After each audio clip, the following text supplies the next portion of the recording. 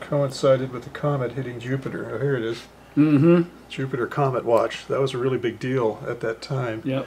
I had no You idea. probably remember that. It was all over the headlines and this comet, and then it broke into pieces. Yep.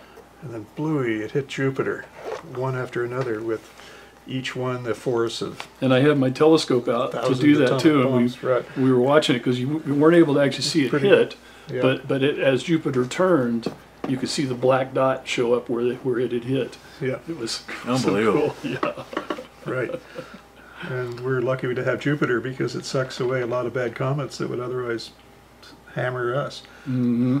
Yeah, what, what is it? Thir, uh, 2032 or 2034? We're supposed to have another. Well, that's a rocky asteroid, but uh, Jupiter, um, throughout the history of the solar system, as you guys probably know, uh, has served as the guardian of the inner inner planets by sucking, away Sucking so many comets Mm-hmm. that come shaking down from the whatever Oort Oort cloud. cloud, yeah. Yeah, yeah.